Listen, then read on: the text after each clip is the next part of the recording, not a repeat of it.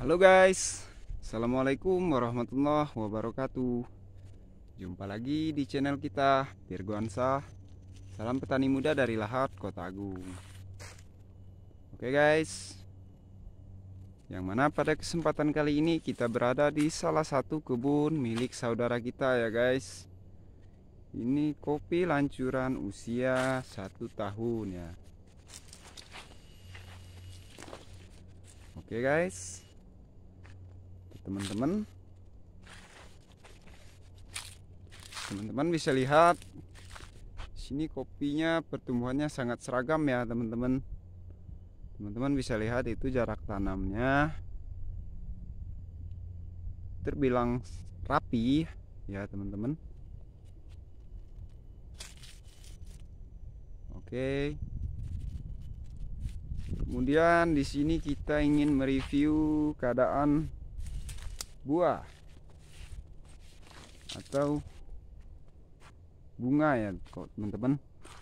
Nah teman-teman bisa lihat di sini kopinya usia satu tahun. Dan ini sudah mulai berbunga ya teman-teman.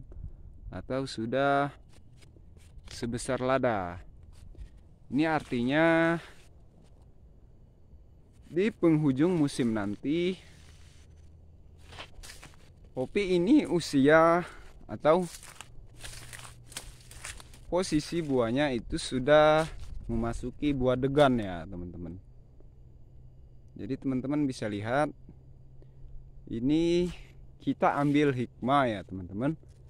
Untuk proses perawatan kopi usia dini atau usia muda itu tidak luput dari pembersihan gulma ya teman-teman yang pertama itu terhindar atau terbebas dari gulma. Artinya posisi lahan kita harus selalu dalam keadaan bersih. Oke teman-teman. Kemudian yang kedua itu yang pastinya kita lakukan pemupukan ya teman-teman. Ini saya anjurkan atau saya sarankan ya teman-teman. Untuk proses atau pemupukan kopi seusia dini yang belum berbuah atau sedang memasuki masa pertumbuhan. Itu teman-teman lebih baik menggunakan atau memperbanyak nitrogen. Artinya untuk mempercepatnya atau mempercepat lajunya pertumbuhan kopi. Sini teman-teman bisa lihat kopinya itu pada subur-subur.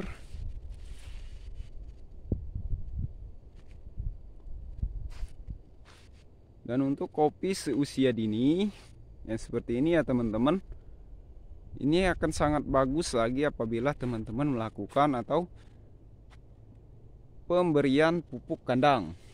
Baik itu berupa kotoran kambing berupa kotoran ayam ya teman-teman. Namun yang lebih baik itu kotoran ayam ya teman-teman. Ini penanaman berkisar sekitar bulan 12 tahun lalu ya teman-teman. Jadi ini usianya sekitar satu tahun dua bulan.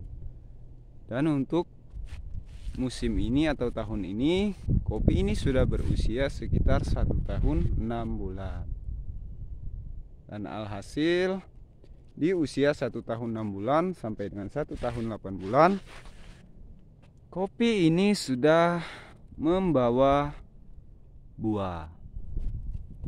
Dan buah seperti ini ini akan dipanen belakangan ya teman-teman. Artinya dia akan dipanen dua bulan setelah pasca panen raya Oke teman-teman. Ini kopi usia satu tahun dua bulan. Teman-teman bisa lihat Pertumbuhannya subur. Nah di sini juga sudah ada teman-teman Yang buahnya itu sudah sebesar degan ya teman-teman. Jadi Untuk kopi seusia dini Seperti ini ya teman-teman.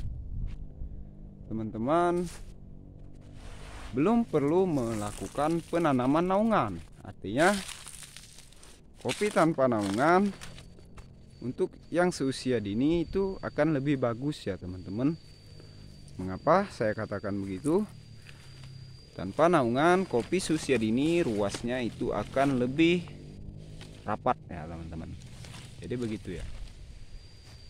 Teman-teman inilah dia review singkat dari kopi usia dini salam satu ranting semoga kita dalam keadaan sehat selalu semoga video ini dapat menginspirasi bagi pemula yang ingin baru mau melakukan penanaman kopi.